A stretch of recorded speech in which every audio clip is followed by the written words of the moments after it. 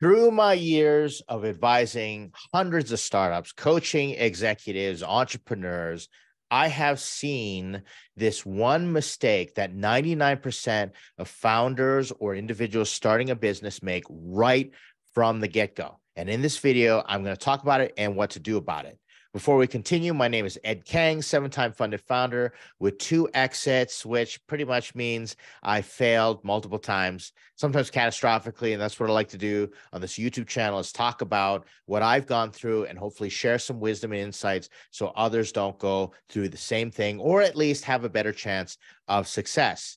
I've been a founder, I've invested in startups, and I'm also looking as a general partner for a fund. So I look at startups all the time. So I get to talk to founders at all different stages, but I particularly enjoy working with founders right from the idea phase. My personal mission in life is to monetize vision.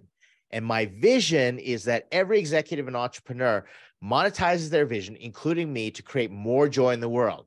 So, welcome. And we're going to jump right in to the first mistake that I see. What is it? Well, it's thinking your first idea is a good one. I'm going to rip off the band aid and I'm just going to be straightforward and say your first idea is never good. It isn't good. You should just be assuming that isn't good. It might not necessarily be bad, per se, but you should be questioning your first idea and asking yourself, how do I find out if this is a good idea? But unfortunately, which we'll talk about in a moment, there's something that we have called confirmation bias that just makes us automatically, well, I came up with the idea. Most likely there's a reason you came up with the idea. So it must be good and it must deserve investment and customers and it's going to be successful and all that stuff. Well, you should immediately be asking and questioning and going into inquiry mode on whether your first idea is a good one because the fact of the matter is is typically the first idea isn't the one that you're going to end up with. It might be in the right direction but investors invest in founders and not startups and ideas for that particular reason. They automatically expect that the founder is going to have to pivot and move to another idea or iterate on their current idea. So we want to see the founder have the resilience and the skill set to be have to have the self-awareness and to be aware enough or be savvy enough to say, okay, we need to change it. What we're going to talk about, how to fix this in three steps and plus, if you stay to the end of the video, I'm going to give you my secret on how I make this decision because of the venture portfolio that I'm running and how I'm trying to ensure maximum success for every single idea that we do work on and we allocate investor resources to. This is the world of idea validation. And what happens is, I think many founders, entrepreneurs hear this word, if you've even heard it at all or heard this term, idea validation. It's a crucial stage when it comes to the startup journey. Founders think, okay, my idea is already validated because I came up with it, because I've talked to some people who are in my sphere and they tell me it's a good idea, but I haven't really gone through the actual steps and a formal process for idea validation just because you think it's a good idea doesn't mean it's validated. And the more points you have of external validation, the better off you will be in making those iterative decisions, also known as the lean startup method, where you build, measure, learn. As if you do as much idea validation, as soon as you step in the world of idea validation, the more you do, the more you stack the deck in your chances of being successful. So, how's it done? Well, step one start with a problem you have and want to fix yourself. This is where, generally speaking, the most common ideas come from founders saying, I have this problem. I want to fix it for myself. For example, I'm working on a startup right now that combines ChatGPT with different services. And it was all based upon my frustrations where I was experiencing friction in my role and I began experimenting with ChatGPT and I said, can ChatGPT solve my problem in the way that I occur or I do business in the marketplace? And I got some positive signals. So I started working with it. But I didn't immediately assume my idea was good. I went out to test it right away and I said, Can I just do some quick experiments, what have you? We'll talk about what an MVP is in a moment. Another idea that I have, which is getting quite a bit of traction in the marketplace, is I wanted to create a game. So my kids and I were playing, we we play, you know, we went through a phase where we're playing poker, and then we went through a phase playing Magic the Gathering. And the two, playing the two, there was just something missing, wasn't as satisfying. So I had this itch that I need to scratch. So I said, Can I come up with a game that combines Magic the Gathering and poker together? And so I began experimenting, created an MVP, tested out with my kids, and now it's a full blown game and could be turned into a video game and all this stuff. And there's licensing and like the business model is starting to roll. Well, that all started because I had a problem that I wanted to fix myself. There are many other stories of other ventures that I've done that have been funded, been successful, as well as founders that I've talked to and where they start, where they immerse themselves and they say, I have this problem. I want to fix it for myself. And then it becomes a startup. So that's step one. The next step is find out if enough people like you, which is the avatar, see the problem as you do. See the problem as you do. And this is going to require you to actually articulate the problem, create a proper problem statement, and you are the avatar. So, what you're doing is okay, so I'm Ed. Here's my avatar. I am married. I'm a certain age, certain income, this and that. I like playing games. I like doing this. I'm this is my job, etc. So I'm going to look out for other people like me because if I don't, then there's too many options. All right. You you just if you're looking at all the different demographics, or you pick a demographic or a psychographic, firmographic, whatever graphic type of person or parameter for your ideal customer profile or the avatar that is outside of you, you can't relate to them. So I'm going to look for people like me all right? We're in the same situation et cetera and you know my social circles and they don't have to look like me. They don't have to be like me or come from the same geography. They have to have the same qualities and characteristics that make sense for me to approach them and say do you see the problem the same way that i do? I write down the problem statement and i pitch it to them and i ask them How's this occur for you? What do you think about the problem? What feedback would you give me? How could I reinforce this problem or iterate on this problem, make any adjustments for it to become more clear for you? And that's where I start. That's step two. Notice I haven't built anything yet, which is step three. Present your unique value proposition first, get feedback, then build your MVP. UVP is unique value proposition. So you've got your ideal avatar out there, you know the problem, and then you present your solution in a unique value proposition. So it may be, all right, let's go back to my gaming example. You like Magic the Gathering, but you don't want to spend all this money. This is what I did. You want to spend all this money in a play to win format where you're constantly buying packs and boosters and trying to collect, etc. And you like poker, but poker is just kind of serious and it's got money and it's the same thing. And you would like some type of fantasy element, everything like that. So my unique value proposition is I'm going to smash this game together, and this is how the game is going to play that will scratch both the itches, be the perfect blend of the two worlds. All right. You could see this game actually for Magic the Gathering players who are old enough to go in a casino and play the game because it's a lot like poker. It's got the same dynamics. It's fast, and you don't have to keep buying booster packs, etc. Right. So that's just general idea. Same thing with my chat idea, Chat GPT.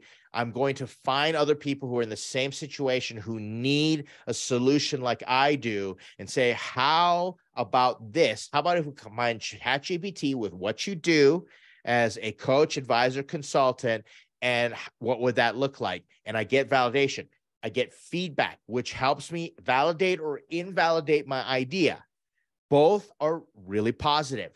Validate the idea. Well, you follow the breadcrumbs. Invalidate, you're saying to yourself, hmm, actually, I didn't think about it that way. You're right. It might be a great idea for you because you're solving a problem, but it might not be a good enough idea and unique value proposition to it for it to become a full-blown startup. To invest your resources because you've got cost of opportunity. You could be doing other things, other people's money, employees, etc. could be the wrong way to go. And that's the reason idea validation can be so powerful. So that's what you want to do. Present your unique value proposition first, then build your MVP. MVP is minimum viable product, and it's what is the minimum amount of resource that I can invest to validate or invalidate that this little product actually delivers on the unique value proposition. All right. So that's the next step that you do. And your your MVP doesn't is not the full blown software, but it doesn't have to be a light version of the software. It could be a different form to go there because it might be like a landing page or a demo video. I've seen so many different things. People build MVPs that actually don't do the thing, but demonstrate how the thing might work so that people give more feedback or there's pre-sales, they sign up for the launch, etc.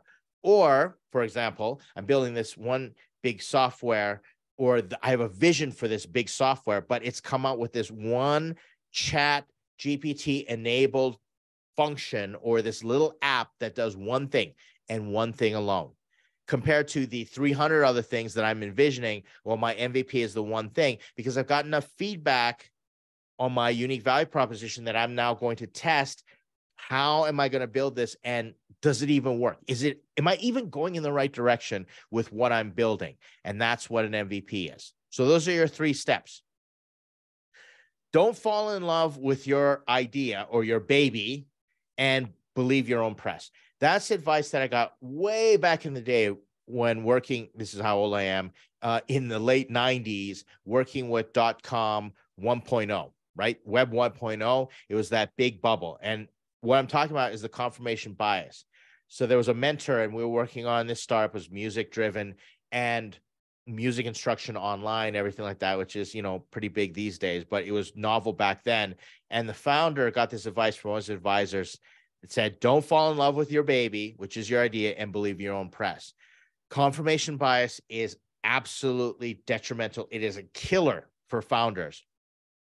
If you're not willing to step outside your own feelings about your own idea and your own self esteem and go approach things like a scientist and have your confirmation bias challenged, you're going to make a lot of mistakes. I know founders, I've had co founders, I've fallen into this trap that they just automatically think because it comes from them and everybody says you're special, right? You're a special generation and you can do anything you want, like become an astronaut or what have you. And a lot of times we get confirmation bias from the media when it comes to stars because telling anybody can become a founder. I saw a YouTube thumbnail the other day anybody can build a billion dollar business. That is simply not true if you're stuck in confirmation bias. There's no way you can build a billion dollar business if you're in confirmation bias because you're not going to be objective enough to make the critical decisions. If you're out of confirmation bias and you set everything up, can you build a billion dollar business? It's possible. Is it probable? Not really. A lot of things have to line up but can you build a successful startup and have a successful career as an entrepreneur? 100% absolutely. But work on that confirmation bias. Don't fall in love with your baby. This includes founders that I've seen have a chance to exit or take investment, and they don't want to give away equity in the company because their baby's so precious. And then the startup folds. I've been part of companies that have been like that. Huge opportunity for an exit.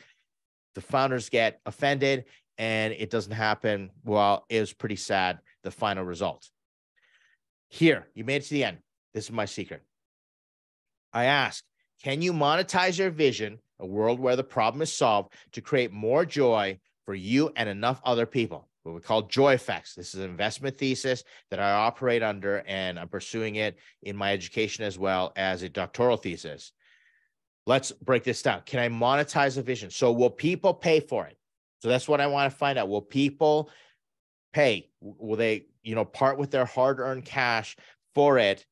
And can I create the vision? Will they pay for a vision of the world where the problem is solved?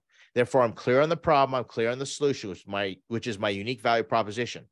But if I execute and the problem is solved, then will that create more joy for me? I need to experience joy doing it. I don't want to work on startups. I become really picky. And thankfully I've got the luxury to do so. I'm very privileged that I don't want to work on startups that don't give me joy and don't bring joy with other people. If you can create joy for yourself, you're going to be motivated. If you get joy for other people, and what I mean by joy is that they're glad to be with you. You they're glad you exist and your company exists, and they want to be in a relationship with you in their strengths, but especially their weaknesses. Because as technology automates everything and we just take certain things for granted, such as access to phones and just hyper acceleration of information, people are going to need and want more joy in their lives. Technology needs to take a step back and they want to have relationships with people where they can experience strength and weakness, celebrate with each other. I want to be part of something big. I want to be part of a team and all those things. It's the reason I love watching Ted Lasso because of how they celebrate in their joy. But I love Ted Lasso because I feel connected to the show in my weakness. When Ted Lasso talks about his parenting issues, his mommy and daddy issues, and going through all the relationship bumps and all the character arcs, they are transparent they're vulnerable in their weaknesses. And I relate. So I love the show and winning all the Emmys that it's done. Then that gives you an idea of how great the show is and how connected they are. So a t- show like Ted Lasso creates joy, well, your startup can create joy as well. So can you monetize a vision? Can you make money in the world where the problem is solved and that world creates more joy for you and for other people? That's how I'm approaching it. And hopefully this has been helpful to you. Thanks so much for checking out the video. If you have any other thoughts or questions, please always appreciate your support leave a like or a comment, share the video. And if you're coming and watching this from startups.com, thank you so much happen to be the lead advisor there. So I'm able to work with all these other founders, glean these wonderful lessons and wisdoms and insights, and hopefully share with as many people as possible. Like I said, if you're from startups.com checking out, my total gratitude for your support. If you don't know about startups.com and you want an advisor like me, go check out startups.com and you'll see what we're doing as an online accelerator. Thanks again for checking out the video, and I will see you in the next one.